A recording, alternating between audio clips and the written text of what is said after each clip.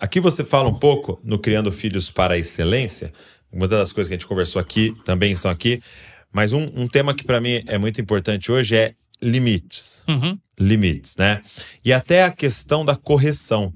Né? Como que você eh, foi aprendendo e meditando mais sobre isso? Como que se deve corrigir um filho? Como é que se deve pôr limites para um filho? Porque a gente tem confundido muito o que, que é amor, né? E hoje em dia amor parece que é aceitar tudo e deixar tudo, né? Yeah. É, mas o que, que é pôr limites? Com essa relação de amor e limites? Ok. Bom, a gente tem esse curso, Criando Filhos por Excelência. O curso está gravado. Quem quiser acessar. Então, depois... além do livro, tem um curso. Na verdade, o livro veio do curso. Tá. Então, entendi. tem aí o livro, Criando Filhos para Excelência. Muito bom, por sinal. Uhum. Mas existe o curso, Criando Filhos por Excelência. E aí você me disse que para minha audiência aqui, todo mundo que se inscrever no curso, você vai dar o livro de presente. Você não esquece, né, negão? é isso mesmo. Então, beleza. É, pode entrar, pode já fazer uma propaganda. Pode. Canal Família Cursos. Então, eu no vou ins- deixar, eu vou deixar no- na descrição aqui. Tá bom. É, no Instagram, Canal Família Cursos. Tá. Lá na, na bio tem a forma de você adquirir o curso. Tá. Adquirindo o curso, e pode mandar um e-mail lá falando que é daqui do Josué, você do, Do- do Douglas. Douglas Gonçalves, você vai assim, Ganha. Pegou o pai aí. você vai ganhar o livro de presente. Beleza. Então, canal Família Cursos e você vai receber o livro Show. falando que é então, daqui do tá Douglas. aqui. é, então você não vai precisar. Eu não vou nem colocar o link do, do livro, vou colocar direto do curso. Você, você se você ganha o livro. Exatamente. Bom, Limites. Limites. Quem ama põe limites. Hum. Quando deixa fazer o que quiser, é um desamor. Hum. Criança entrega a si mesmo bem envergonhar a sua mãe. Então hoje estamos criando filhos que, ah, ele que sabe, eu, eu vou, sou bonzinho, sou boazinho, não põe limites. Hebreus, Deus fala que ele corrige porque ama. Ele é Deus e ele corrige. Ele açoita. Tem duas coisas na correção. Uma coisa é correção, outra coisa é punição. Hum. Então, o que que é corrigir? Tá indo na estrada errada, você volta para o trilho. Ok. Punição, você fez a coisa errada, é essa a punição. E existe um período para isso, existe a hora disso, e aí precisa. Você até fala isso no curso, da a questão da correção? Exatamente. Legal. Então pode entrar lá no curso que a pessoa vai aprender, porque precisa diferenciar criancice. É um acidente, uma arte, um a criança pega sua lata de óleo lá no armário da cozinha e faz uma estrada pela casa para ela vir com um caminhãozinho depois. Ninguém nunca disse que não. E aquela estrada vai ficar muito melhor com óleo, o caminhãozinho Vai roda melhor precisa de orientação. Que Sim. o mais o filho precisa é orientação, instrução. Então, isso eu vou chamar de criancice. Agora, eu já vi criança de três anos, a mãe dando comida e diz: não joga no chão. A criança olha para a mãe, enche a mão de comida e joga no chão. Ah, então, sabe, tem gente lá na África que passa fome, não tem o que Eu nunca entendi esse argumento. e criança na África, assim, a criança nem sabe de África, não sabe de nada, não sabe como é que planta um arroz, nada. Ela precisa entender que aquela voz é autoridade. Desde pequenininho. Se você corrige mais, dá mais instruções, você vai punir menos. Muito menos. Então, como eu não dou limite e não tenho instrução é, e correção, eu vou punir mais. E, e é interessante que quando você. É, é, por exemplo, quando a gente vai falar de salvação, fala assim: que Jesus, a gente ouviu muito essa frase, Jesus é nosso Salvador e Senhor, né? E, e como que ele nos salva? Sendo nosso Senhor, né? Então não tem nem como fazer uma separação dessas duas coisas. Ele é o nosso Salvador, sim. Por quê? Porque ele é o nosso Senhor. Porque de quem que ele está me salvando? Uhum, De mim mesmo, né? é. Então, quando você corrige um filho, pune um filho, você está auxiliando na salvação dessa alma, porque você está ensinando a ele a vencer a si mesmo, Uhum. a vencer o seu ímpeto, a vencer a sua vontade. Porque guerras e, e crimes e estupros e tudo isso que a gente está vendo são de pessoas que não têm a capacidade de vencer a sua própria vontade. Uhum. E chegam a esses extremos. É, não tem um limite. Mas começou com essa mãozada e jogando a comida no chão, É, né? E, e- então assim, é, é como está ligado a amor, né? Uhum. Amor, porque hoje o que eu tô Porque assim, a gente teve um extremo, com certeza, de pais violentos, de pais que descontaram raiva no Sim, filho, sim. né? E, e isso, é, a Bíblia vai condenar isso e é pecado. E aí eu percebo a gente dando aquela envergada pro outro lado, que são pais preguiçosos, Sim. porque é trabalhoso. Exatamente. Não é, você vai falar pra criança, não. Ela não fala, ah, então tá bom, pai, perdão, nunca mais farei. Nunca é assim. Ela vai tentar de novo, ela vai tentar de novo. E eu, já- eu lembro de vezes com a Luísa e com o Davi, de uma hora, uma hora e meia, ali.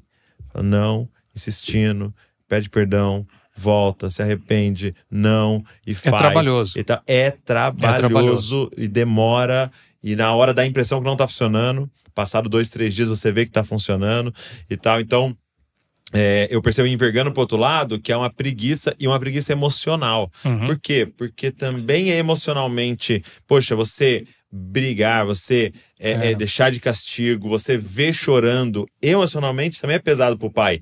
Só que a gente não pode economizar nisso, né? Uhum. Porque você uhum. está auxiliando É, a criança. Acho que, se eu não me engano, Susana Wesley dizia isso. É, você está auxiliando na salvação dessa alma, né? exatamente. Você mencionou isso na pregação lá do, do nosso encontro, falando do, da Da preguiça. aham. Que às vezes o pai trabalha muito de Hum. preguiça daquela tarefa que ele precisa fazer em casa. é. Qual tarefa? De levar os filhos a Deus. Sim. Então, trabalha muito esse trabalho, eu prego muito por aí que às vezes o trabalho é a moita de Adão, é onde eu me escondo. Uau. Não, mas eu estou trabalhando, estou trabalhando, trazendo feijão para casa. Seus filhos precisam mais de você do que você falou antes, de, de, de telefone, de Sim. tênis. Então, precisa muito mais do pai. Tenho uma, uma, uma mulher que escreveu um livro, poxa, eu não vou lembrar o nome, precisava até depois pegar o nome desse livro. Porque essa mulher era uma enfermeira e foi trabalhar em um lugar de cuidados paliativos, né? Então, ela trabalhava só com pacientes terminais, Certo. que tinha dois, três meses de vida e para cuidar para não ter dor naquele, naqueles últimos meses. né? E aí, o que, que ela fez? Ela falou: já que eu tô aqui nessa situação, né, com, esse, com essas pessoas, essa situação, vou fazer uma pesquisa. E ela começou a perguntar para cada um, é, enquanto fazia o tratamento ali, qual que é o seu maior arrependimento na vida? E aí ela escreveu um livro, tipo assim, os 10 maiores arrependimentos da vida das pessoas. Então ela perguntou para várias pessoas de várias Puxa. idades. E qual era o número um? Não ter gasto mais tempo com a minha família. Pensou? E ela tava falando com milionários, tá falando com pessoas sem dinheiro, falando com pessoas, com homens, com mulheres, com. Entendeu? E, e no fim, é. Eu- eu- até, até você ouve isso assim, poxa, eu não deveria ter separado da minha primeira esposa. Você vê, poxa, eu deveria ter gastado mais, trabalhado menos, gastado mais tempo com os meus filhos e tal. Uhum, uhum. E sempre, você não ouve ninguém falando assim, poxa, eu tinha que ter trabalhado mais. Poxa, se eu tivesse ganhado mais mil reais, sabe? Se eu tivesse ganhado mais. Se eu tivesse a segunda lancha, entendeu? Ninguém se arrepende disso. Pois é, pois é. Se eu tivesse tido a roda do carro aro 16, eu teria. Ninguém se arrepende disso. Pois é. sempre relacionado a gente Família, família, exatamente. exatamente. filhos, né? É, que é o, o maior tesouro. E a palavra já deixou isso para nós, né? É, É. o maior tesouro. Agora, de, de preguiça, né? Para quem não ouviu essa pregação, deixa eu só falar uma parábola, porque a gente, eu li um livro chamado A Preguiça. E, e até brinco, é que era um livro fininho, desse tamanho, assim, que era pô preguiçoso. E aí lá ele conta uma parábola, porque ele fala das máscaras da preguiça, né? E aí, uma delas é o cansaço. Eu tô muito cansado. Eu tô muito- Poxa, você tem que brincar com isso. Ah, mas tô muito cansado. Aí ele conta uma parábola, assim, de um pai terminando o serviço, né? Trabalhando lá das 8 às 6, quebrado. Ele chega em casa, ele fala, ele entra no apartamento, assim, parece um moribundo, né?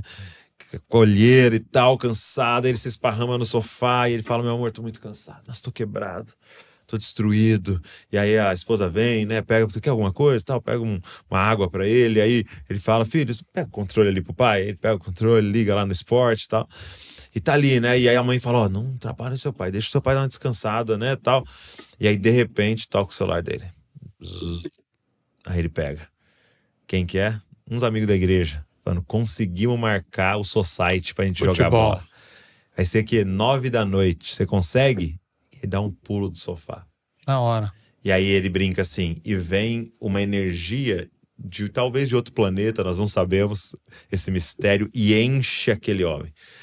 E ele tem energia. E aí ele se levanta e fala: Amor, os caras conseguiu marcar o society, cadê minha chuteira? Ele pega a chuteira, pega os, os, shorts, pega as coisas e tal, e arruma sua malinha e vai correr por duas horas, muitas vezes das nove às onze.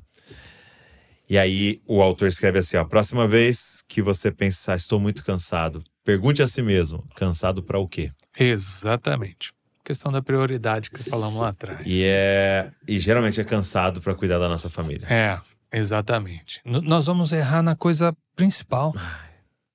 Na coisa principal a gente está errando. Aí o versículo que, que eu fico. O coração é Jesus falando pro, é, no final do seu ministério, né? Pai, daqueles que o Senhor me deu, eu não perdi nenhum. Tá vendo? E quem é que o Senhor nos deu, né? Com maior clareza. Assim, hoje, eu, aqui nessa mesa, quem a gente pode falar? Senhor me deu. É, de primeira mão, né? Valéria, Luísa e Davi. Que é a certeza, Senhor me deu, né? Exatamente. Será que a gente vai conseguir chegar diante do Senhor e falar, Pai, dos que o Senhor me deu, eu não perdi nenhum, né? É, é, exatamente.